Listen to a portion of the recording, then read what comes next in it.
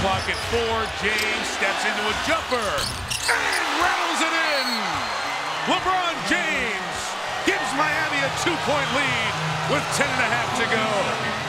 It was only fitting that they were matched up against one another on that drive. Absolutely.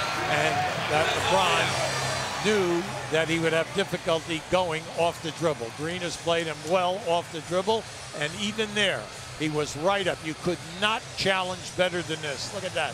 Right up on that shot.